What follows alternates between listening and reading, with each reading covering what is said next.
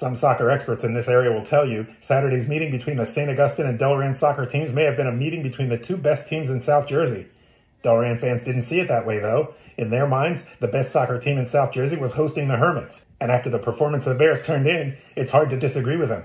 After some near misses on both ends in an evenly played game, it was Delran that struck first when a long throw from Patrick Little bounced across the front of the goal to where Felipe Malazzo waited to finish it on the volley.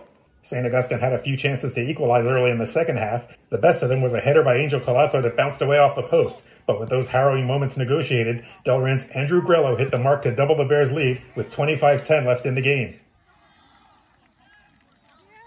Drew made a beautiful run to the corner flag and I made the sprint to the back post because I saw Westman streaming for it, and I knew he was going to play back there. And I had to make sure I got there before the goalie, and I just put it far corner. I'm a little more fired up, and after the kickoff, I was ready to go for another one. Delran did go for another one. They needed it, and they got it. One nothing, one nothing games are always hard because you know the team can always get back into it. Even two nothing, score one goal, you're you're already back in the game. But we just keep working, keep scoring, good things happen. It happened for Drew Roskos with 8.04 left in the game. I was making a run wide, got the ball to my feet, just me and the goalie, ended up putting it away.